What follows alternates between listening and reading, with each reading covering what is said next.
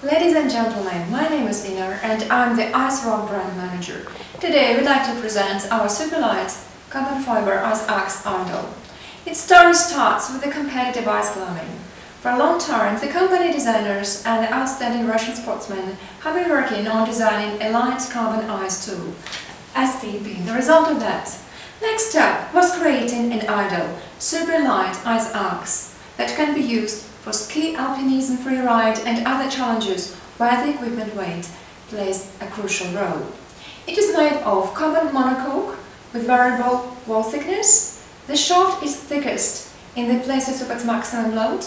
The pick is made of steel that is used for aerospace and high-tech industries.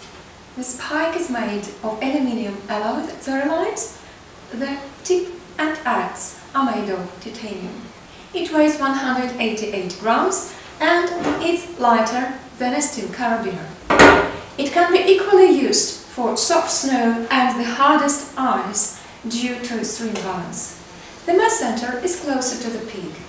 By the present moment, it's considered to be the lightest in its class, and we hope it will add beauty to the world of snow, ice and mountain.